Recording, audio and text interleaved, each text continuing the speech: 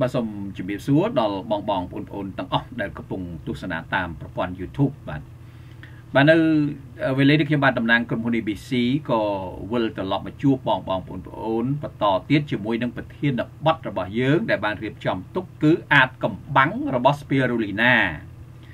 បាទអាចកំបាំងរបស់ Spirulina ឥឡូវនេះចូលទៅដល់ភាគទី9បាទហើយសូមបញ្ជាក់ជូនថា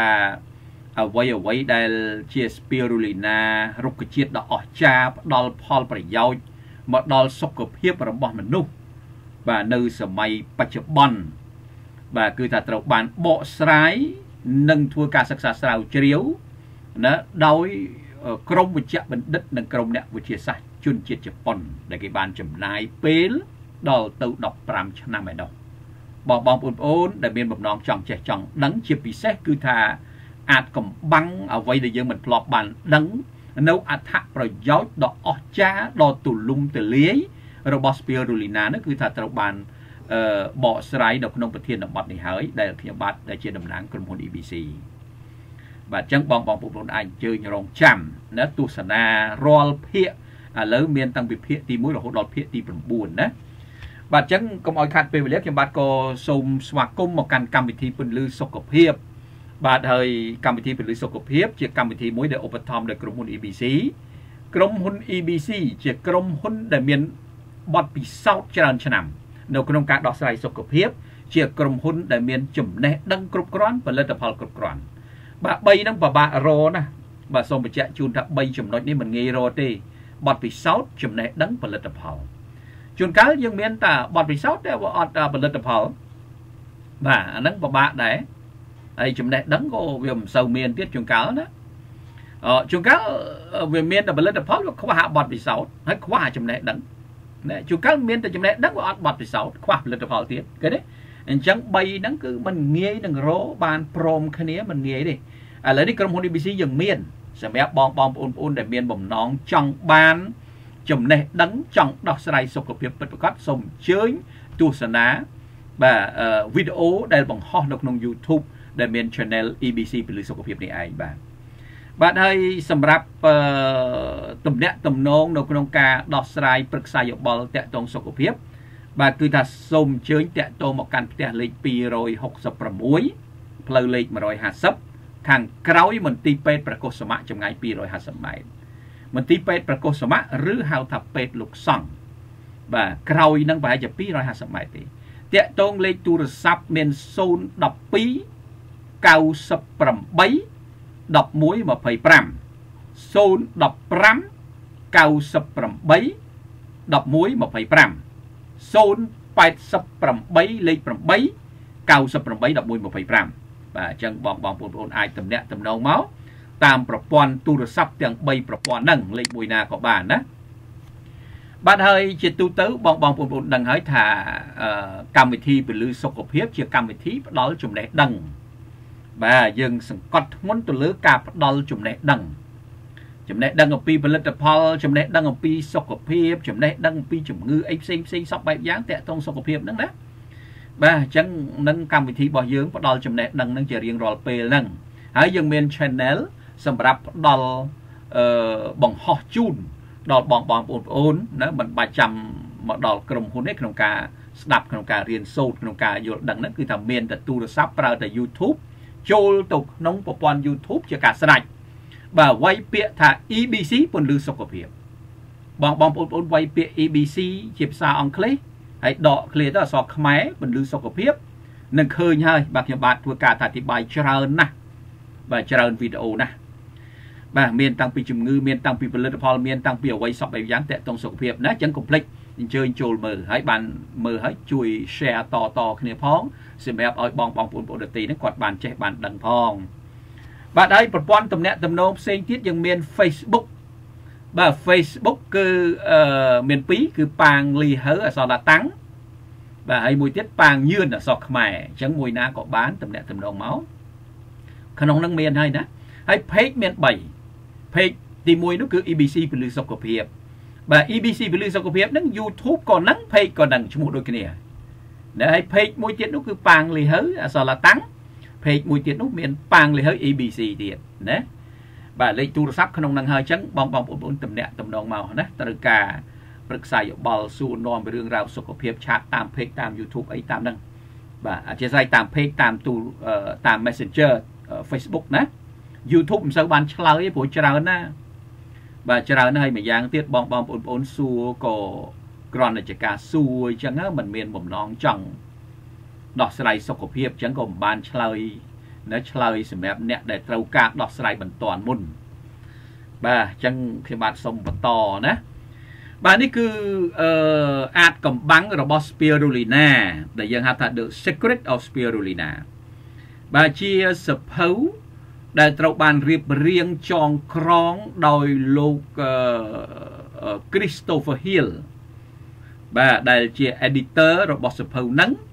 ហើយគាត់បានប្រមូលឯកសារស្រាវជ្រាវទាំងអស់របស់ក្រមវិជ្ជបណ្ឌិតនិងក្រមអ្នកវិទ្យាសាស្ត្រជប៉ុន ស្ដីអំពី spirulina យកមកដាក់ចូលក្នុងហ្នឹងអញ្ចឹងខ្ញុំបាទធ្វើការបកស្រាយពន្យល់ ណា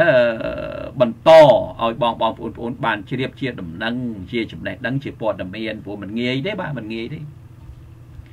បាទពិបាកណាស់ហើយសម្រាប់សុខភាពនេះយើងត្រូវការដោះស្រាយជាពិសេសដំណោះស្រាយហ្នឹងគឺថាឲ្យវាសុវត្ថិភាពមិនប៉ះពាល់ហើយឲ្យជាជំងឺសពបែបយ៉ាងទៀតណែអញ្ចឹងហើយឥឡូវនេះ spirulina ហ្នឹងគឺថាបង្ហាញជូនហើយបងបងប្អូនប្អូនណាបង្ហាញជូនហើយ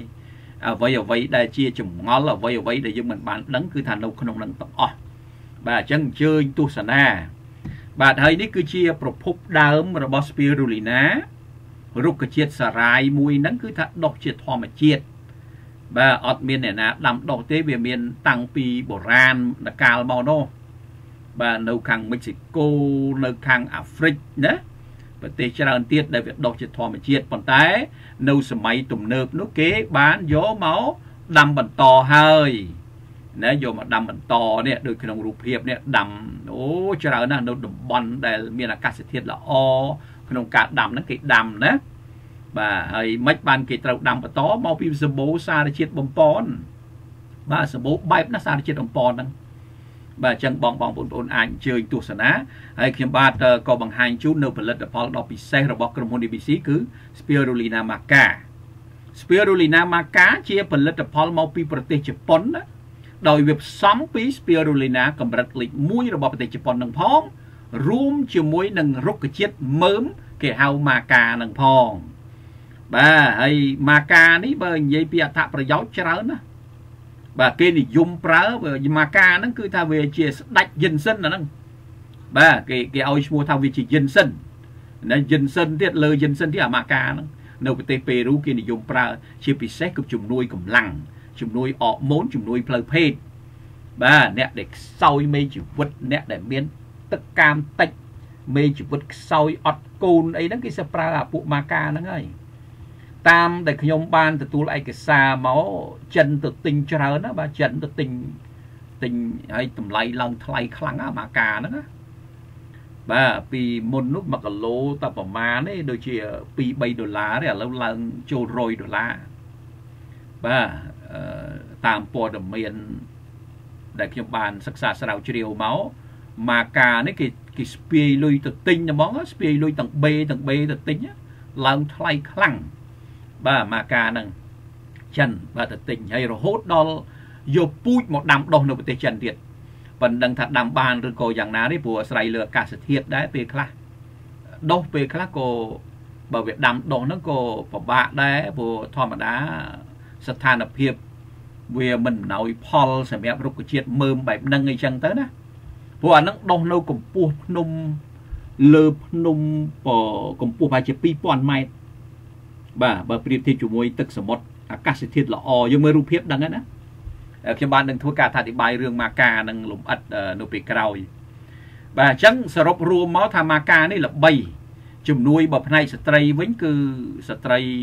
ដែលវ័យរៀងចំណាស់ទៅគាត់មានបញ្ហាអរម៉ូនមិនប្រក្រតីនាំឲ្យកើតគីសណាក៏ម៉ាកានឹងប្រើត្រូវនាំឲ្យរដូវមិនទៀងក៏ម៉ាកានឹងប្រើត្រូវ ស្ត្រីអាយុ40ជាងដល់50អីហ្នឹងធម្មតា វាថយអរម៉ូនអញ្ចឹងចំណង់ក៏បាត់បង់ហើយជាពិសេសស្ងួតណាស្ងួតទ្វាមាសហ្នឹងក៏មកការហ្នឹងប្រើត្រូវហើយស្ត្រីរហូតដល់វ័យចំណាស់អឺគេហៅថាអស់រដូវហើយណាដែលគាត់មានជំងឺចុករយស្ពឹកសពុនឈឺក្បាលបេះដូងដើររៀងញាប់សម្រានមិនលក់អឺគេហៅថា បែកញើសមកកណាត់ខ្លួនឡើងលើអាហ្នឹងគេប្រើម៉ាកាហ្នឹងហើយជំនួយខ្លាំងណាស់ម៉ាកាហ្នឹងណាអញ្ចឹងហើយម៉ាកានេះទាំងបរោះទាំងនារីឥឡូវនេះជប៉ុនគេបានបញ្ចូលបាទជប៉ុនគេបានបញ្ចូលទៅជាផលិតផលមួយដោយមានរុក្ខជាតិ spirulina កំពុងលើកវិធានបទនឹងផងហើយម៉ាកានឹងផងបាទអញ្ចឹងបងបងប្អូនអាចនឹងអញ្ជើញតាមដានទស្សនាការពន្យល់បង្ហាញរបស់ខ្ញុំបាទដែលជាតំណាងក្រុមហ៊ុន ABC ហើយសូមបញ្ជាក់ថារាល់បញ្ហាសុខភាព បងបងប្អូនអាចតំណាក់តំណងមកបញ្ហាសុខភាពណាដែលកើតមានដោះស្រាយមិនទាន់ចេញសូមអញ្ជើញតំណាក់តំណងណាបាទឥឡូវខ្ញុំបាទសូមចូលទៅប្រធានបទតែម្ដងហើយប្រធានបទរបស់យើងហ្នឹងគឺចូលទៅដល់ភាគទី9ណាខ្ញុំបាទមិនបន្តវែងឆ្ងាយទេកុំឲ្យអឺយូរពេកអញ្ចឹងចូលទៅភាគទី9បដ ாய் ទៅ បាទកុំឲ្យខាតពេលណាបាទអញ្ចឹងអឺយើង យើងបន្តទៅដល់ភាគទី9ទំព័រទី17បាទឥឡូវចូលទៅដល់មួយចំណុចទៀតណាលើកមុននោះនិយាយពីរឿង spirulina ហ្នឹងណាជួយសុខភាពសពបែបយ៉ាងហើយជាពិសេសហ្នឹងណែចំណុចដែលឱសថសម័យមិនអាចដោះស្រាយបានជាពិសេសជំងឺវ័យចាស់ជរានិង spirulina ហ្នឹងគឺថាត្រូវហើយ បាទត្រូវហើយសម្រាប់ចាស់ចាស់ដែលមានជំងឺរ៉ាំរ៉ៃវ័យចាស់ជរាហ្នឹងគឺអត់ខុសទេបាទទឹកនោមផ្អែមលើសឈាមកាពះពវៀនថ្លើមស្រឡាក់តម្រង់នោមអីនិយាយទៅមកកំ pl េបាទនឹងនឹងទំព័រមុននោះខ្ញុំបានអត្ថាធិប្បាយរួចហើយឥឡូវចូលដល់ទំព័រទី17ភាគទី9បន្តទៀតណា Spirulina the offspring of nature and science បាទ offspring offspring បានន័យថាជា offspring បើយើងនិយាយចំថាជាកជាកំណើតណាជាកំណើតឬជាកអញ្ចឹងណាអញ្ចឹង spirulina ជាកំណើតពីធម្មជាតិផង និងវិទ្យាសាស្ត្រផងចង់និយាយថាអាហ្នឹងគឺកើតពីធម្មជាតិហើយក៏វិទ្យាសាស្ត្រហ្នឹងគេអាចបង្កើតវាបានទៀតណែអាហ្នឹងអញ្ចឹងណាបាទប៉ុន្តែ វិទ្យាសាស្ត្របង្កើតហ្នឹងមិនមែនបង្កើតបែបគីមីទេបង្កើតបែបធម្មជាតិដដែលបាទបែបធម្មជាតិដដែលហ្នឹងចង់បញ្ជាក់ជូនបងបងប្អូនបានជ្រាបអញ្ចឹងមិនមែនថាអូកំណើតធម្មជាតិហើយយកវិទ្យាសាស្ត្រមកកែប្រែហើយទៅជាគីមីទៅជាអត់អត់ទេណាអញ្ចឹងបើយើងនិយាយចំថា spirulina ជាកូនរបស់ធម្មជាតិកូនពីធម្មជាតិនិងវិទ្យាសាស្ត្រណានៃអញ្ចឹងណាបាទ In Japan the natural environment is being destroyed and all over the world contaminated substances injurious to human health are being added to food products បាទថាក្នុងប្រទេសជប៉ុនអានេះនិយាយនៅប្រទេសជប៉ុនណាក្រុមគ្រូពេទ្យហ្នឹងគាត់អត្ថាធិប្បាយពីរឿងប្រទេសជប៉ុនប៉ុន្តែក៏ឆ្លោះបញ្ចាំងគ្រប់តែពីប្រទេសលើពិភពលោកនឹងដូចគ្នាទេថានៅក្នុងប្រទេសជប៉ុនបរិស្ថានធម្មជាតិ ត្រូវបានបំផ្លាញហើយនៅលើពិភពលោកទាំងមូលសារធាតុពុលដែលមានគ្រោះថ្នាក់ទៅកាន់សុខភាពរបស់មនុស្សនោះគឺត្រូវបានគេបន្ថែមទៅលើផលិតផលអាហារបាទបាទផលិតផលអាហារមួយចំនួនហ្នឹងគឺគេបន្ថែមអាសារជាតិពុលហ្នឹងណាដែលពុលទៅដល់ដែលមានគ្រោះថ្នាក់ទៅដល់សុខភាពរបស់មនុស្ស ព្រោះគេរៀបចំធ្វើម៉េចឲ្យតែឆ្ងាញ់ឲ្យតែបំពេញសារជាតិជីវហាវិញ្ញាណហ្នឹងបាទដល់អញ្ចឹងទៅពេលខ្លះអាគ្រឿងផ្សំខ្លះក៏វាមិនល្អសម្រាប់សុខភាពនៅពេលដែលយើងទទួលទានច្រើនពេកអញ្ចឹងណាបាទអញ្ចឹងនៅប្រទេសជប៉ុនជំនាន់ហ្នឹងក៏អញ្ចឹងយើងសពថ្ងៃក៏អញ្ចឹងប្រទេសផ្សេងផ្សេងក៏អញ្ចឹងណាអញ្ចឹងហើយបានបងបងប្អូនប្អូនគួរសិក្សាមើលមើលយើងកិច្ចទៅណារួច ណាកិច្ចទៅណារួចណានៅប្រទេសជប៉ុនបរិស្ថានធម្មជាតិត្រូវបានបំផ្លាញហើយនៅលើពិភពលោកសារធាតុដែលគ្រោះថ្នាក់ដែលដែលសារធាតុពុលដែលគ្រោះថ្នាក់ទៅលើសុខភាពរបស់មនុស្សត្រូវបានបន្ថែមទៅលើអាហារផលិតផលអាហារ It goes without saying that it is important to return the environment to its natural pristine form. But this is not nearly enough. We must progress beyond this to study the relationship between nature and health and go on to select those elements which are beneficial to human health and then utilize these daily in an effect in an effective manner. Is this not the essence of human wisdom or an scientific progress បាទឥឡូវយើងស្ដាប់ទាំងអស់គ្នាណាថា it goes without saying that ថាអឺមិនបាច់និយាយទេអាហ្នឹងវាវាច្បាស់ហើយអាចង់និយាយអញ្ចឹងវាវាមិនចាំបាច់និយាយអីទៀតទេថាវាត្រូវបានវាមានសារៈសំខាន់ណាស់នៅក្នុងកែនៅក្នុងការកែប្រែបរិស្ថានឲ្យមកទម្រង់បែបបត់ធម្មជាតិដើមវិញ ណាប៉ុន្តែនេះក៏វាមិនគ្រប់គ្រាន់ដែរណាចង់និយាយអញ្ចឹងចង់និយាយថាឥឡូវខ្ញុំខ្ញុំសារដើមពីលើមកថានៅក្នុងប្រទេសជប៉ុនបរិស្ថានធម្មជាតិត្រូវបានបំផ្លាញហើយនៅលើពិភពលោកនៅសារធាតុពុលដែលគ្រោះថ្នាក់ទៅលើសុខភាពត្រូវបានត្រូវបានគេបន្ថែមទៅលើអាហារផលិតផលអាហារឃើញទេហើយមិនចាំបាច់និយាយអីច្រើនទេតែវាមានសារៈសំខាន់ណាស់នៅក្នុងការកែប្រែបរិស្ថានឲ្យមកសភាពធម្មជាតិដើមវិញ ប៉ុន្តែនេះក៏មិនគ្រប់គ្រាន់ដែរណាបានន័យថាដើម្បីឲ្យសុខភាពល្អអ្វីៗល្អតោះកែប្រែបរិស្ថានមកឲ្យធម្មជាតិដើមវិញណាគេថាអញ្ចឹងណាបាទព្រោះសប្ងៃហ្នឹងថាបរិស្ថានធម្មជាតិវាបំផ្លាញអស់ហើយនៅលើពិភពលោកហ្នឹងលែងធម្មជាតិហើយផ្សែងពុលផ្សែងឡានផ្សែងម៉ូតូរោងចក្រសហគ្រាសអីណាណាបើកាលណាកាន់តែកាន់តែជឿនលឿនកាន់តែមានឧស្សាហកម្មច្រើន អានឹងកាន់តែបំផ្លាញបរិស្ថានកាន់តែច្រើនដែរអានឹងចឹងជាទូទៅនៅលើពិភពលោកចឹងអញ្ចឹងខាងក្រមគ្រូពេទ្យជាពិសេសអ្នកអធិប្បាយហ្នឹងគាត់ថាដោយមិនចាំបាច់និយាយអីទេយើងចាំបាច់ណាស់ត្រូវតែកែប្រែបរិស្ថាននោះមកកាន់ធម្មជាតិវិញណាក៏ប៉ុន្តែនេះក៏មិនទាន់គ្រប់គ្រាន់ដែរអានឹងគាត់មានប្រសាសន៍អញ្ចឹងណាតែយើងត្រូវតែមានភាពរីកចម្រើនឲ្យហួសពីនេះទៀត ដើម្បីសិក្សានៅទំនាក់ទំនងរវាងធម្មជាតិនិងសុខភាព ហើយបន្តជ្រើសរើសនៅសារធាតុទាំងនោះ ដែលមានសារៈសំខាន់ផលប្រយោជន៍ដល់សុខភាពមនុស្សហើយប្រើប្រាស់សារធាតុទាំងអស់នេះប្រចាំថ្ងៃនៅនៅក្នុងលក្ខណៈមួយឲ្យមានប្រសិទ្ធភាពបាទតើនេះមិនមែនជាសារៈសំខាន់នៃបញ្ញារបស់មនុស្សនិងភាពរីកចម្រើនរបស់វិទ្យាសាស្ត្រទេឬណែអា ហ្នឹងគឺកាំងលោកវិជ្ជបណ្ឌិត អ្នកវិទ្យាសាស្ត្រហ្នឹងគាត់បានធ្វើការអធិប្បាយឲ្យចោតសំណួរអញ្ចឹងថា យើងត្រូវកែប្រែបរិស្ថានហើយណាបាទអធិស្ឋាន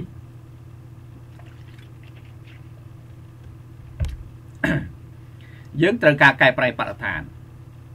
ដើម្បីមកធម្មជាតិប៉ុន្តែវាអត់តន់គ្រប់គ្រាន់ទេ បាទនឹងតាមអ្វីដែលអ្នកអធិប្បាយគាត់ថាអញ្ចឹងអត់តន់គ្រប់គ្រាន់ទេថាយើងត្រូវតែធ្វើម៉េចឲ្យរីកចម្រើនហួសពីនឹងទៀតណាធ្វើកិច្ចការឲ្យរីកចម្រើនហួសពីត្រឹមកែប្រែបរិស្ថាននឹងទៀតណាដើម្បីសិក្សាតំណាក់តំណងរវាងធម្មជាតិហើយនិងសុខភាពឃើញទេហើយជ្រើសរើសយកអាអាអាសារធាតុទាំងនោះណាយកមកជួយសុខភាពរបស់មនុស្សយើងប្រើប្រាស់វាប្រចាំថ្ងៃទៅបាទឲ្យមានសុខភាពល្អ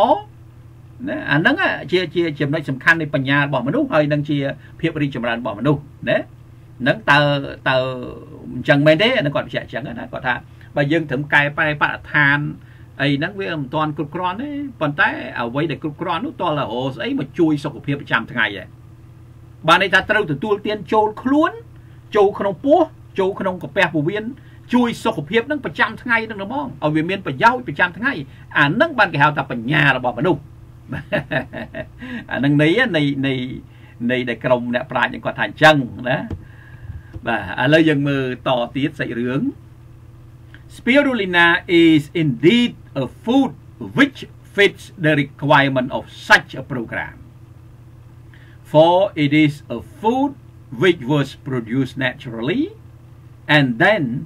through the power of science using sunlight air and water it was cultivated by human artifice thus it is a true child of nature and science ឥឡូវយើងស្ដាប់ទាំងអស់គ្នាថាជាការពិតណាស់ spirulina គឺពិតជាអាហារដែលសមស្របជាមួយនឹងសេចក្តីត្រូវការរបស់កម្មវិធីបែបហ្នឹងមែនណែ អាកម្មវិធីបែបហ្នឹងកម្មវិធីអីកម្មវិធីដែលគេរកកែប្រែបរិស្ថានឲ្យឲ្យវាមកធម្មជាតិហើយរកអវ័យមួយណាឲ្យមានសារជាតិអវ័យមួយជួយនេះឲ្យមានប្រយោជន៍សម្រាប់សុខភាពហើយឲ្យមនុស្សប្រើប្រាស់ប្រចាំថ្ងៃបាទអាហ្នឹងអាហ្នឹង program របស់គេណាកម្មវិធីរបស់គេគេត្រូវការអញ្ចឹងណាមិនមែនត្រឹមតែកែប្រែធម្មជាតិទេបើកែប្រែធម្មជាតិវាល្អហើយប៉ុន្តែវាមិនទាន់គ្រប់ អញ្ចឹងត្រូវតែត្រូវតែធ្វើយ៉ាងណាឲ្យវាហួសពីអាការកែប្រែធម្មជាតិហ្នឹងទៀតណាដាំដុះផលិតឬក៏ស្អីដើម្បីឲ្យវាមានសារជាតិល្អណាឲ្យមនុស្សហ្នឹងប្រើប្រាស់ទទួលផលប្រយោជន៍ប្រចាំថ្ងៃហ្មងអានឹងបានជា បញ្ញាពិតប្រកបនឹងការលះបង់ពិតប្រកបរបស់មនុស្សជាតិហ្នឹងហ្នឹងតាមអ្វីដែល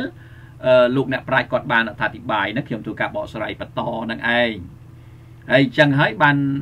បញ្ជាក់ជូនថាមានតែ spirulina ទេដែលស័កសមជាមួយនឹងកម្មវិធីបែបហ្នឹងហ្នឹងណាហ្នឹងតាមលោកអ្នកប្រាជ្ញគាត់ថាអញ្ចឹងណាពីព្រោះវាគឺជាអាហារណា for it is a food ពីព្រោះវាជាអាហារដែលត្រូវបានផលិតតាមបែបធម្មជាតិហើយតាមរយៈឥទ្ធិពលរបស់វិទ្យាសាស្ត្រដោយប្រើពន្លឺថ្ងៃ ប្រើខ្យល់អាកាសបរិសុទ្ធនិងប្រើទឹក វាត្រូវបានដាំដុះដោយស្នាដៃរបស់មនុស្សហើយដូច្នេះហើយវាគឺពិតជាកូនពិតប្រកបពីធម្មជាតិនិងពីវិទ្យាសាស្ត្រណែហើយដូច្នេះហើយ spirulina គឺជាកូនដែលកើតចេញពីធម្មជាតិនិងកើតចេញពីវិទ្យាសាស្ត្រណែគេទេនឹងលោកអ្នកប្រាជ្ញថាអញ្ចឹងអញ្ចឹងហើយគាត់ថា spirulina នេះត្រូវជាមួយនឹងអាកម្មវិធីអញ្ចឹងតែហ្មងអាកម្មវិធីអីកម្មវិធីដែលគេកំពុងរោថា ធ្វើយ៉ាងណាឲ្យមនុស្សបានទទួលផលប្រយោជន៍ប្រចាំថ្ងៃប្រើប្រាស់ប្រចាំថ្ងៃណាអាកែប្រែធម្មជាតិនោះកែប្រែទៅកែប្រែបរិស្ថានធម្មជាតិអានេះចេះតែកែប្រែទៅប៉ុន្តែវាមិនតាន់គ្រប់ទេតែអញ្ចឹងតើអីមួយឲ្យមនុស្សទទួលទានឲ្យបានផលប្រយោជន៍ប្រចាំថ្ងៃអញ្ចឹងការទទួលទានផលប្រយោជន៍ប្រចាំថ្ងៃអា spirulina នឹងស័កសមត្បងពីព្រោះវាដាំបែបធម្មជាតិណាអឺ ហើយតាមរយៈនេះអតិពលរបស់វិទ្យាសាស្ត្រនេះដែលប្រើពលឺថ្ងៃខ្យល់អាកាសបរិសុទ្ធទឹកណាអឺវាត្រូវបានដាំដោយស្នាដៃរបស់មនុស្សហើយដូច្នេះហើយវាគឺជាកូនពិតប្រកបដែលកើតចេញពីធម្មជាតិនិងវិទ្យាសាស្ត្រណាអញ្ចឹងសរុបសេចក្តីទៅអត្តន័យហ្នឹងគឺអ្នកប្រាជ្ញគាត់ចង់ឲ្យប្រើ spirulina ហ្នឹងជាប្រចាំថ្ងៃដើម្បីឲ្យបានសុខភាព ល្អប្រចាំថ្ងៃហ្នឹងណាហ្នឹងគឺអ្នកប្រាជ្ញគាត់បានលើកឡើងអញ្ចឹង However in the marketplace today there is a already a flood of food product label health food or natural food as well as a growing fad for the so and so health method or the dust and so treatment such a state of affair best speak a frantic headlong rush for hell and indicate the degree to which interest in and anxiety about hell has taken possession of the man in the street អូខេឥឡូវមើលកន្លែងហ្នឹងថាទោះបីយ៉ាងណាក៏ដោយបាទនៅក្នុងទីផ្សារសពថ្ងៃនេះ បាទមានផលិតផលអាហារអូជន់ទៅដោយមានមានជោជោជន់ណា flat ហ្នឹងទឹកចំនួនអញ្ចឹង flat off ហ្នឹងបានន័យថាដូចទឹកចំនួនអញ្ចឹងបាទអានេះអញ្ចឹងថាសពថ្ងៃនេះនៅក្នុងទីផ្សារបច្ចុប្បន្នហ្នឹងគឺថាវាមានផលិតផលអាហារហ្នឹងថាជោគជាំជោជន់ត្មង ដែលដាក់ផ្លាកថាអាហារសុខភាព ឬអាហារធម្មជាតិណា ផលិតផលសពថ្ងៃសម្បូរមែនហ្នឹងទាំងនៅខ្មែរយើងក៏ដោយនៅស្រុកគេជំនាន់ហ្នឹងក៏ដូចគ្នាដែរនៅប្រទេសជប៉ុនហ្នឹងក៏សម្បូរផ្លាគេដាក់ផ្លាកនេះអាហារធម្មជាតិអានេះអាហារសុខភាពអានេះស្អីស្អីចឹងណាណាអ្វីផ្លាកអ្វី logo អីសពបែបយ៉ាងមានគេមានយើងច្រើនណាស់អានឹងជូរជន់ហ្មងដូចទឹកចំនួនអញ្ចឹងផលិតផលសប្ងៃនឹងសម្បូរអញ្ចឹងឆ្លុះបញ្ចាំងនៅខ្មែរយើងអញ្ចឹងដូចគ្នាអត់ខុសទេណា as well as a growing fat for the so and so health method ក៏ព្រមទាំងមានភាពអន្ទះសារកាន់តែច្រើនទៅច្រើនទៅណាសម្រាប់វិធីជួយឲ្យសុខភាពល្អស្អីគេនោះ so and so ហ្នឹងខ្មែរយើងបកថាស្អីគេនោះអាហ្នឹងដូចដូចអញ្ចឹងណាដូចដូចរបៀបភាសាមួយគេឡែបខាយ បាទភាសាអញ្ចឹងហ្នឹង so and so health method ហ្នឹងអញ្ចឹងណាស្ដាប់ឲ្យតាន់ថានៅក្នុងទីផ្សារសម័យបច្ចុប្បន្នមានផលិតផលអាហារជោជន់សម្បើមណាស់ដាក់ផ្លាកថាអាហារសុខភាពអាហារធម្មជាតិព្រមទាំងមានភាពសាទរសាទរដូចថារបៀបដូចថាចង់ចង់រីករាយសบายបាទហើយសពថ្ងៃអញ្ចឹងមែនណាសពថ្ងៃ ណាមានមានឥឡូវយើងមើលព្រមទាំងមានភាពសាទរកាន់តែច្រើនទៅសម្រាប់វិធីជួយឲ្យសុខភាពល្អស្អីគេនោះនឹងតាមអ្វីដែលលោកប្រាជ្ញអ្នកនិយាយឬក៏វិធីព្យាបាលបែបនោះណែអញ្ចឹងណាបាទសបោសបោសពថ្ងៃសបោអញ្ចឹងបាទសម្រាប់បញ្ហាសុខភាពមនុស្សឥឡូវក៏គេអឺទះសាគេអឺបើប្រៀបធៀបពីមុនណាណា ក៏ក៏ទះសាក៏ខ្មែរយើងថាជ្រួលជ្រើមដើម្បីបានសុខភាពល្អហ្នឹងគឺអត់ខុសទេម្នាក់ម្នាក់ហ្នឹង care ខ្វល់ពីរឿងសុខភាពហ្នឹងកើនឡើងបើពីមុនអត់ទេទេហ្មង0ហ្មងណាសុខភាពល្អល្អហើយទៅតាមតដើអត់មានអ្នករំជើបរំជួលមានអ្នកចង់បានសុខភាពល្អស្អីទេដូចអត់ក៏ក្រើកប៉ុន្តែសម័យឥឡូវក៏ក្រើកណាក៏ក្រើកនឹងតាមរយៈអឺ យើងឃើញចាក់ស្ដែងណាហើយប្រទេសគេក៏អញ្ចឹងដែរដូចគ្នាអញ្ចឹងលំនាំតែមួយទេលំនាំអត់ខុសគ្នាផលិតផលអាហារហ្នឹងពីមុនយើងមានណាអត់មានទេនៅស្រុកគេបាទឥឡូវនេះសម្បូរដូចតែគ្នាហ្នឹងណាគ្រប់ក្រុមហ៊ុនគ្រប់មិនក្រុមហ៊ុនជាហាងក៏ដោយជាស្អីក៏ដោយផ្លាកអូអ្នកខ្លះប្រកាសចេះអ្នកខ្លះប្រកាសចុះអាហារធម្មជាតិអាហារសុទ្ធអាហារពិតប្រកបអាហារស្អីស្អីណាហូហែអញ្ចឹងមកកណូក៏ដឹក ណាហើយសម្រាប់អ្នកដែលអញ្ជើបអញ្ជួលចង់បានសុខភាពល្អហ្នឹងក៏កើនច្រើនណារោមធ្យោបាយដោះស្រាយសុខភាពហ្នឹងក៏កើនច្រើន វិធីព្យាបាលក៏កើនច្រើនដែរណែអាហ្នឹងដូចគ្នាអញ្ចឹងណាបាទអត់ខុសគ្នាទេបើយើងឆ្លុះបញ្ចាំងនៅសប្តាហ៍ថ្ងៃហ្នឹងបាទ such a state of affair best best speak a frantic headlong rush for health បាទសភាពនៃកិច្ចការបែបនោះ វាចង្អុលបង្ហាញឲ្យឃើញថាមានភាពអឺស្ទុះស្ទារុះរាន់បាទអឺយ៉ាងលះលហួនបាទ frantic head headlong ហ្នឹងដូចថាអត់មានបាច់ត្រៀមទុកទេណាអត់មានបាច់ចាំប្រេទុកត្រៀមទុកអីទេគឺថាទៅយកហ្មងណាថាលួនអញ្ចឹងអញ្ចឹងណាបាទអញ្ចឹងសភាពនៃកិច្ចការបែបហ្នឹងគឺថាបង្ហាញអំពីភាព ស្ទុះស្ទារុះរាន់ដែលមិនបានរៀបចំទុកដើម្បីទទួលបានសុខភាព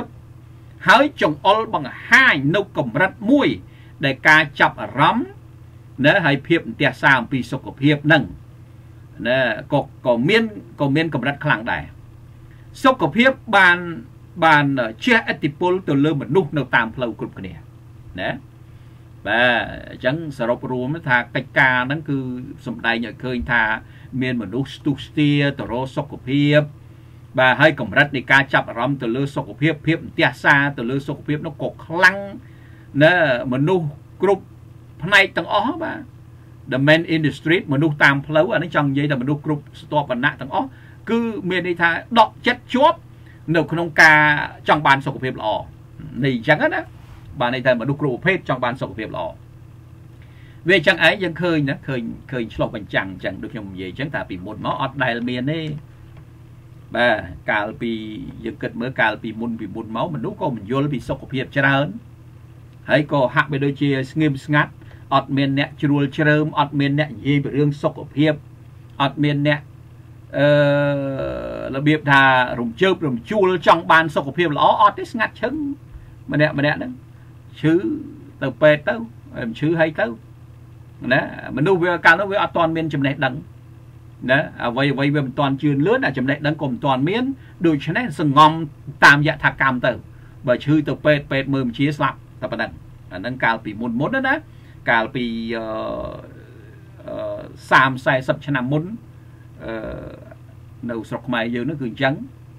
ក៏ដូចគ្នាហើយស្រុកគេក៏អញ្ចឹងដែរអត់ខុសគ្នាទេបាទអត់ខុសគ្នាទេបាទស្រុកគេនេះយូរហើយតែយើងចង់ប្រៀបធៀបគ្នាណា បាទដល់ឥឡូវនេះអត់ទេមនុស្សរំជើបរំជួលច្រើនណាស់ម្នាក់ម្នាក់នឹងខ្វល់ពីរឿងសុខភាពសម្បើមណាបើប្រៀបធៀបនឹងគឺថាច្រើនប៉ុន្តែបើប្រៀបធៀបចំនួនមនុស្សនៅតែតិចចឹងបើប្រៀបធៀបចំនួនមនុស្សវិញអឺ100អ្នកហ្នឹងអ្នករំជើបរំជួលចង់បានសុខភាពល្អហ្នឹងតែប្រហែលអ្នកហ្នឹងឯងបាទអាហ្នឹងគឺមាន4 5អ្នកអី4 5% 4 10%តែប៉ុណ្ណឹងណាអាហ្នឹងនិយាយមនុស្សដែលដែលរំជើបជួលតែបើប្រៀបធៀប អឺចំនួនមនុស្សដែលរំជើបជួលពីសុខភាពកាលមុនមកឥឡូវគឺគឺបានច្រើនភាគរយនេះឥឡូវច្រើនភាគរយតែបើប្រៀបធៀបចំនួនសរុបមនុស្សដែលរំជើបជួលអានឹងតិចភាគរយវិញណា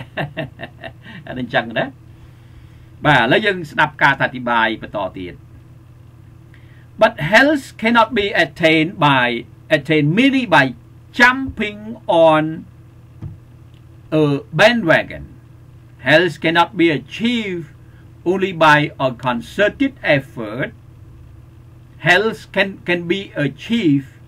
only by a concerted effort on the parts of the individual himself in all aspects and habits of his daily life លើស្ដាប់ឲ្យតន់ណាស្ដាប់ឲ្យតន់ថាបាទស្ដាប់ន័យស្ដាប់ន័យតន់ថាប៉ុន្តែសុខភាពមិនអាចទទួលបានដោយ គ្រាន់តែលោតតាមឡានក្រុមភ្លេងប៉ុណ្ណោះនោះទេបាទពាក្យភាសាអង់គ្លេសប្រើពាក្យថា jumping on a bandwagon bandwagon ហ្នឹងឡានក្រុមភ្លេងអាឡានគេដឹកភ្លេងហ៎បាទដើរលេងតាមតំបន់ផ្សេងផ្សេងមានប្រគុំនៅលើឡានហ្នឹងហ្មងណាហើយដល់លោតទៅលើឡានក្រុមភ្លេងណាអញ្ចឹងន័យយ៉ាងម៉េចមានន័យថាម៉េចថាប៉ុន្តែសុខភាព បើមិនអាចត្រូវបានដោយមិនអាចត្រូវទទួលបាន ដោយគ្រាន់តែលោតតាមឡានក្រុមភ្លេងប៉ុណ្ណោះទេអានឹងន័យត្រង់ណា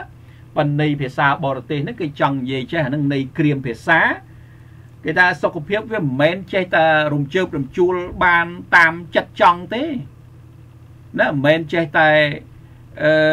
រំជើបរំជួលឬក៏ទទួលបានយ៉ាងងាយងាយទេហ្នឹងន័យអញ្ចឹងណាទោះបីមានផលិតផលល្អក៏ដោយអីក៏ដោយក៏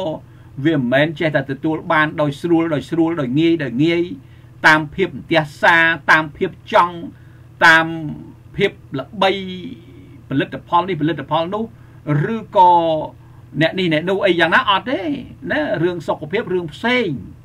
ណាអានឹងន័យដែលក្រុមគ្រូពេទ្យគាត់បញ្ជាក់អញ្ចឹងណាបងបងប្អូនត្រូវស្ដាប់អត្តន័យហ្នឹងឲ្យតន់ណាស្ដាប់អត្តន័យឲ្យតន់ណាសុខភាពអាចទទួលបាន តាមរយៈការខិតខំប្រឹងប្រែងជារួមណែឃើញទេបាទនឹងស្ដាប់ឲ្យតន់សុខភាពអាចទទួលបានតាមរយៈ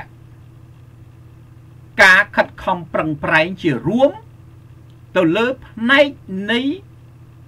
បុគ្គលខ្លួនឯងនៅគ្រប់ផ្នែកទាំងអស់និងទំនៀមទម្លាប់នៃជីវិតប្រចាំថ្ងៃរបស់គាត់ណែឃើញទេ បាទបានន័យថាការខិតខំប្រឹងប្រែងរួមបានន័យថាបុគ្គលហ្នឹងមិនមែនមានន័យថាអូគាត់មានផលិតផលគាត់ប្រើប្រាស់ផលិតផលអីតាមរំជើបរំជួលតាមការផ្សព្វផ្សាយតាមគេនិយាយតាមអីហូហែដូចបានរៀបរាប់ខាងដើមអញ្ចឹងណាហើយសុខភាពវាមិនមែនមិនមែនបានមកងាយងាយស្រួលដូចគេនិយាយអញ្ចឹងទេទាល់តែមានការខិតខំប្រឹងប្រែងជារួម មានន័យថាបុគ្គលដែលជាអ្នកឈឺហ្នឹងគាត់ត្រូវតែយល់គ្រប់ផ្នែកទាំងអស់ បាទគ្រប់ផ្នែកហើយយល់ពីទំនៀមទម្លាប់នៃជីវិតប្រចាំថ្ងៃឧទាហរណ៍ថាឥឡូវគាត់ទឹកនោមផ្អែមគាត់ទឹកនោមផ្អែមគាត់ត្រូវដឹងថាតើជំងឺទឹកនោមផ្អែមហ្នឹងវាកើតដោយសារអីគាត់ត្រូវតមអីគាត់ត្រូវអនុវត្តគោលការណ៍អីទំនៀមទម្លាប់ហូបទំនៀមទម្លាប់ហូបចុករបស់គាត់ត្រូវគិតគូរយ៉ាងណាណែអាហ្នឹងបានបានណាបានបានបានបានបានអាចសុខភាពល្អបានណាគេគេចង់និយាយចឹងណាបងបងប្អូនយល់ហ្នឹងក្រុមអ្នកប្រាជ្ញក្រុមគ្រូពេទ្យហ្នឹងគាត់ចង់បញ្យល់ឲ្យយើងចេះនឹងឯងណាមិនចេះតែអង្គុយទទួលបានផលិតផលល្អហើយសុខភាពល្អមែនទេតើយើងអនុវត្តណាយល់ដឹងនិយាយដោយខ្លីថាត្រូវតែមានចំណេះដឹងផងក្រុមគ្រូពេទ្យហ្នឹងស្គាត់សង្កត់ធ្ងន់សរុបរួមមកថាអ្នកឈឺហ្នឹងត្រូវតែមានចំណេះដឹងដែរបើអ្នកឈឺហ្នឹងអត់មានចំណេះដឹងសោះហើយពឹងទៅទៅលើថ្នាំឬក៏ពឹងទៅទៅលើផលិតផលណាមួយនោះ អាហ្នឹងក៏ងាយដែរជួនកាលយើងប្រព្រឹត្តខុសផ្ទុយទៅនឹងគោលការណ៍សុខភាពណាឧទាហរណ៍ថាឥឡូវទឹកនោមផ្អែមគេឲ្យយើងកាត់បន្ថយស្ករអាហារណាដែលអឺបង្កើតស្ករច្រើនយើងកាត់បន្ថយហើយយើងមិនចឹងណាយើងអត់យល់លេងតែអាហារដែលសម្បូរស្ករនឹងឯងឃ្លានតែអាហារដែលសម្បូរស្ករនឹងឯងឃើញទេហើយដល់អញ្ចឹងថ្នាំណាដែលជួយបានផលិតផលណាដែលជួយបាន ឃើញទេប្រៀបដូចយើងថាយើងចង់បាចទឹកពីត្រពាំងមួយពីស្រះមួយឃើញទេហើយយើងចេះតែបាចឲ្យរីងទៅបាចទៅប៉ុន្តែអារុនក្តាមរុនខ្យងអីដែលទឹកវាហូរចូលមកវិញណាដែលវាហូរដោយដោយដោយដោយយើងមិនដឹងវាមានរុនធ្លាយទៅម្ខាងម្ខាងហូរចូលមកហើយយើងបាចចេះតែបាចទៅណាបាចបាច មក10ជីវិតបាចម្រីងផង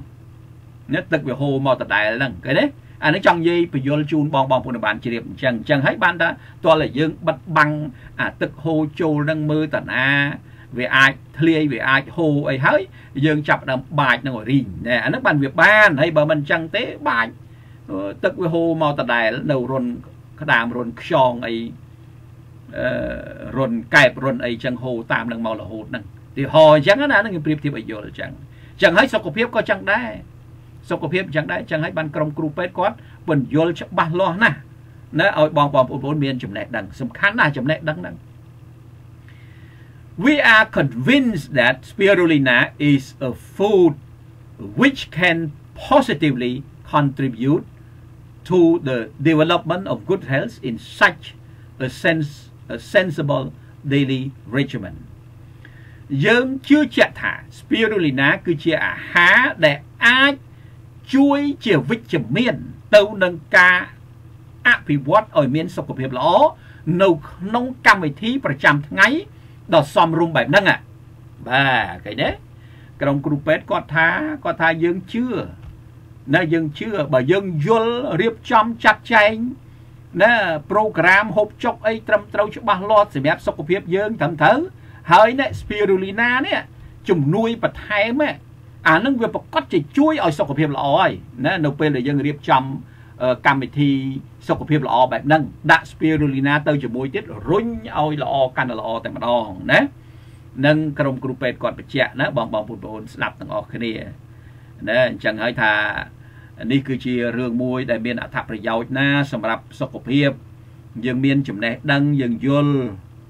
ណាកាលណាយើងយល់យើងមានចំណេះដឹងសុខភាពវាថយឯងហើយណាខ្លាចតអត់ទេតអត់ឲ្យចប់ហើយណាហើយអត់ហើយពេលខ្លះនិយាយប្រាប់មិនជឿទៀតបាទនិយាយមិនងាយជឿទេអ្នកដែល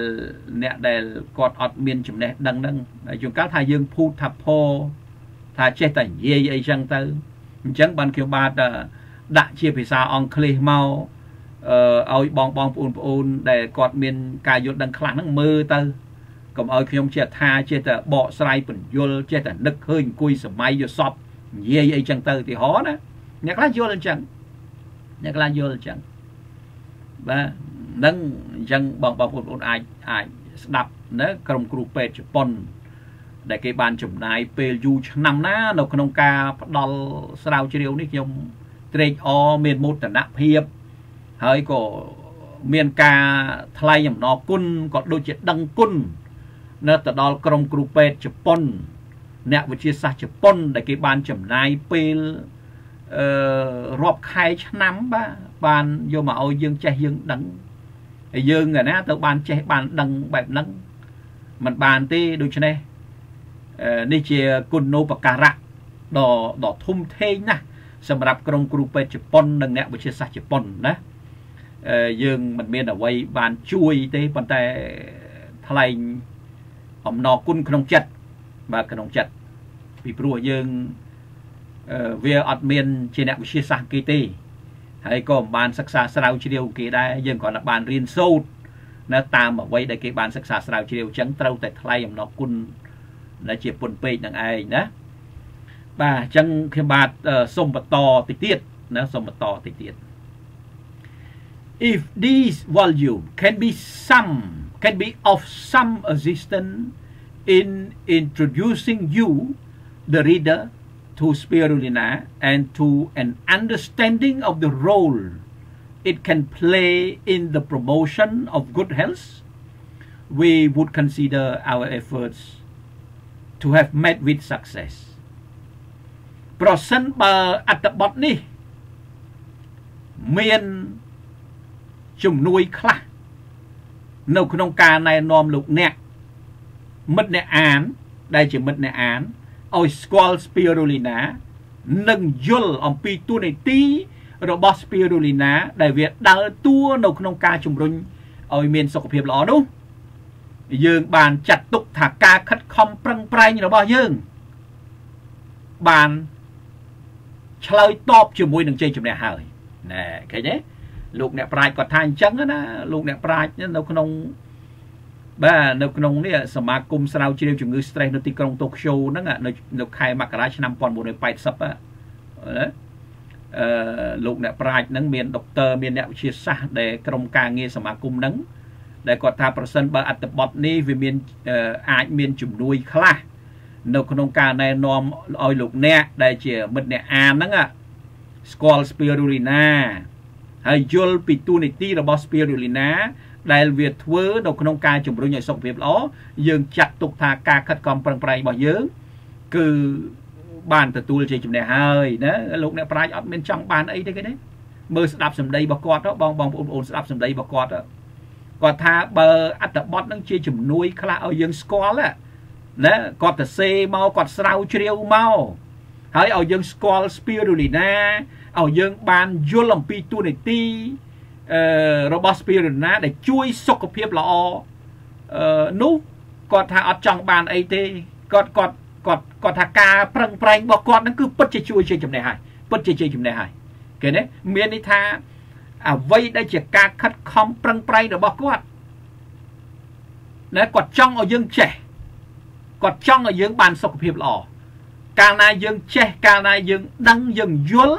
យើងបានសុខភាពល្អនោះហើយជាជ័យជំនះរបស់គាត់ណែឃើញទេគាត់អត់មានចង់បានអីពីយើងទេយើងមើលមើលយើងយើងស្ដាប់មើលបងបងប្អូនស្ដាប់មើលបាទវាគួរឲ្យត្រេកអរវាគួរឲ្យរំភើប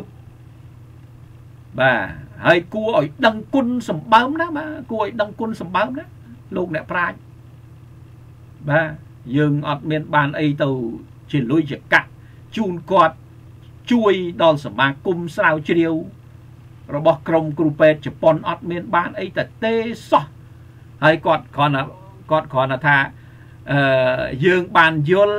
យើងបានចេះយើងបានសុខភាពល្អអានឹងគាត់គាត់អគាត់គាត់សប្បាយចិត្តណាបានន័យថាអត្តបទរបស់គាត់នឹងជាជំនះហើយគេនេះយើងមើលមើលចិត្តរបស់អ្នកប្រាជ្ញបាទចិត្តរបស់សពរសធរសពរសជន ជនដែលជាសពរសយើងមើលមើលបាទយើងគួរឲ្យរំភើបបណ្ណាទៅបងបងប្អូនប្អូនយើងគួរឲ្យរំភើបបណ្ណាទៅយើងគួររីករាយបណ្ណាសបាយបណ្ណា ដែលគេគ្រាន់តែមានចិត្តឲ្យយើងបាន សុខភាពល្អសោះណាគេសបាយណាយើងគេថាអត្តបទគេជ័យជំនះណាអញ្ចឹងហើយចំពោះខ្ញុំបាទដែលជាតំណាងក្រុមហ៊ុន ABC ហើយក៏បានពើប្រទះ ចាត់ទុកថាជាសំណាងល្អបាទបំផុតហើយនៅក្នុងការដែលជួបប្រទះជាមួយនឹងអត្តបទបានចេះបានដឹងបានរៀនបានសូត្រស្រាវជ្រាវបន្តតាមឯកសាររបស់ក្រមវិជ្ជបណ្ឌិតរបស់ក្រមគ្រូពេទ្យជប៉ុនណាគឺថាមានមោទនភាពរីករាយសប្បាយបាទហើយមានបំណងចង់ចែកចាយណាឲ្យបងបងប្អូនប្អូនហ្នឹងគឺថាយល់ដឹងបន្តទៀត មិនមែនចង់ចេះតែខ្លួនឯងទេព្រោះអ្នកប្រាជ្ញហ្នឹងគេបានរៀបចំមកឲ្យយើងចេះហើយយើងបន្តទៅអ្នកដទៃទៀតឃើញទេតែប៉ុណ្្នឹងឯងតែប៉ុណ្្នឹងឯងហើយទទួលបានសុខភាពល្អនេះយើងមានផលិតផលហ្នឹងរួចស្រេចទៅទៀតណាអញ្ចឹងបងបងប្អូនជួយ share បន្តឲ្យអឺកុំភ្លេចក្នុងការថ្លែងអំណរគុណចំពោះដុកទ័រជប៉ុនចំពោះក្រុមគ្រូពេទ្យជប៉ុនចំពោះ លោកអ្នកប្រាជ្ញផ្សេងផ្សេងទៀតជាពិសេស editor គឺលោក Christopher Hill បាទ Christopher Hill និង Dr. ជាច្រើនរូបនៅក្នុងនឹងណាបងបងប្អូនគួរតែយើងមានការដឹងគុណថ្លៃអំណរគុណច្រើនទោះបីថាមានអឺអិសរាជជនខ្លះក៏បានធ្វើមរណកាលទៅក៏ដោយក៏យើងមានការថ្លែងអំណរគុណក្នុងចិត្តណា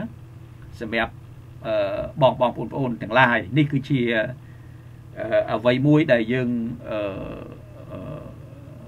ចែកចាយណាដែលយើងដែលយើងមានសមានចិត្តបាទក្នុងការត្រេកអរហើយថ្លែងអំណរគុណដល់ពួកគាត់ទាំងនោះបាទអញ្ចឹងខ្ញុំបាទក៏សូមបញ្ជាក់ជូនប៉ុណ្ណឹងអឺ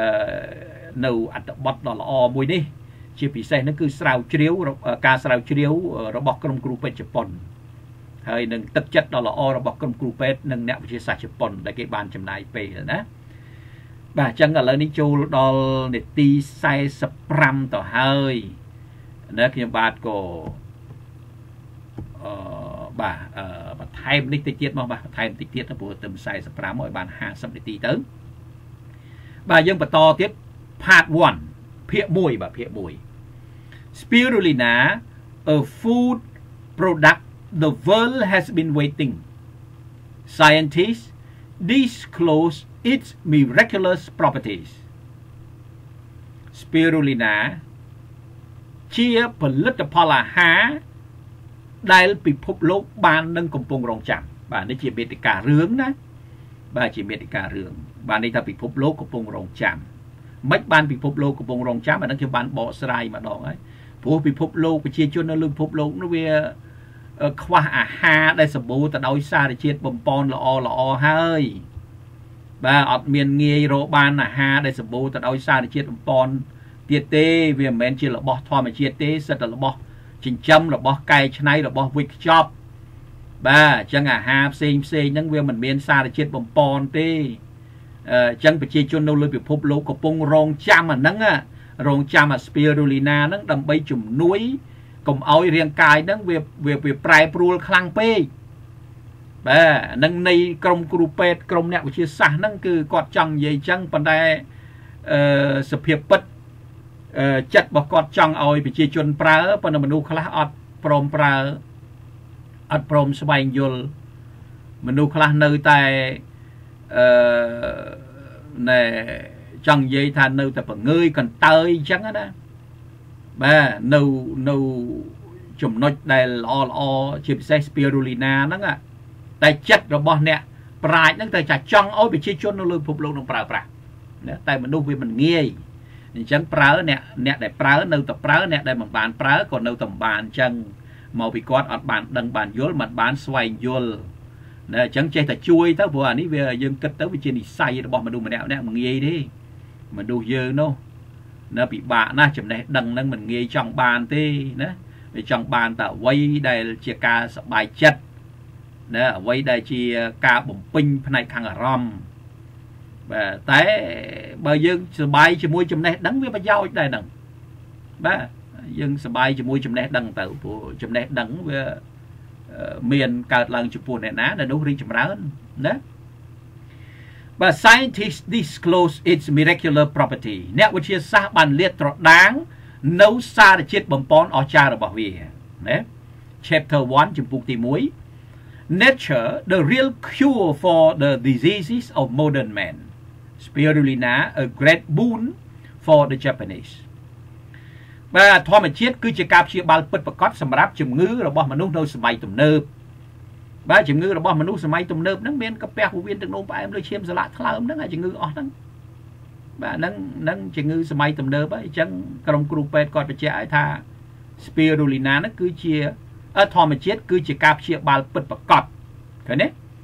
បាទន័យថាដើម្បីព្យាបាលជំងឺរបស់មនុស្សសម័យទំនើបហ្នឹងស្វែងរកធម្មជាតិព្រោះធម្មជាតិហ្នឹងបានហៅថាព្យាបាលណាបើថ្នាំ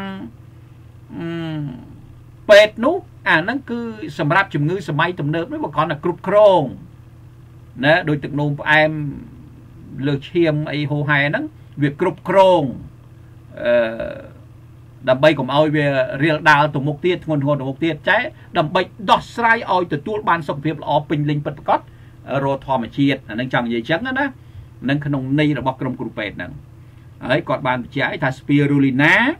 គឺជារង្វាន់ដ៏អស្ចារ្យសម្រាប់ប្រជាជនជប៉ុន បាទនឹងរង្វាន់ Great Boon បានន័យថាជាផលិតផលអស្ចារ្យឬក៏រង្វាន់អស្ចារ្យឬជាអវ័យអស្ចារ្យណាសម្រាប់ប្រជាជនជប៉ុននិងអត្ថាធិប្បាយដោយលោកវិជ្ជបណ្ឌិតយ៉ាស៊ូសាបរុស៊ូគី PhD MD ដែលជាសាស្ត្រាចារ្យដ៏លេចធ្លោនៃសាកលវិទ្យាល័យអប់រំនាយកដ្ឋានផ្នែកចិត្តវិទ្យានៅទីក្រុងតូក្យូបាទអញ្ចឹងនេះគឺជាមេតិការឿងខ្លីតទៀតណា ប៉ុន្តែខ្ញុំបាទគ្រាន់តែជម្រាបជូនប៉ុណ្ណឹងមិនបានធ្វើការអធិប្បាយបន្តទៅមុខទៀតទេហើយសម្រាប់បងបងប្អូនប្អូនដែលមានបំណងចង់បានផលិតផលល្អមកពីប្រទេសជប៉ុនពិតប្រាកដចង់ជួយសុខភាពពិតប្រាកដគឺ Spirulina maca ណាបាទហើយកុំភ្លេចបានទស្សនាហើយខ្សែវីដេអូទាំងអស់នេះហើយកុំភ្លេចជួយ share តតគ្នាផងព្រោះដូចខ្ញុំបានលើកឡើងអញ្ចឹងអ្នកខ្លះគាត់អត់បានយល់បានដឹងទេណាអញ្ចឹងចេះតែឈឺចេះតែរ៉ាំរ៉ៃមិនឈប់មិនឈរអញ្ចឹងទៅ ពីមួយថ្ងៃទៅមួយថ្ងៃតាមពិតដោះស្រាយសុខភាពយ៉ាងស្រួលធម្មជាតិមិនប៉ះពាល់ទៀតណាប៉ុន្តែมันបានដឹងនិយាយដោយទៅដោយស្ខ្លីថាมันបានដឹងมันបានយល់អញ្ចឹងកុំភ្លេចជួយ share ហើយជួយណែនាំឲ្យបានអានបានស្ដាប់គ្រាន់តែស្ដាប់ឲ្យមានខាត់បងអីយប់យប់ឡើងណាឬក៏ធ្វើដំណើរតាមឡានអីចឹងទៅយើងស្ដាប់ទៅបើកទៅណាយប់ឡើងក៏អញ្ចឹងទូរស័ព្ទបើកស្ដាប់ទៅកុំព្យូទ័រក៏បានក្នុង YouTube ហ្នឹង អញ្ចឹងកុំភ្លេចណា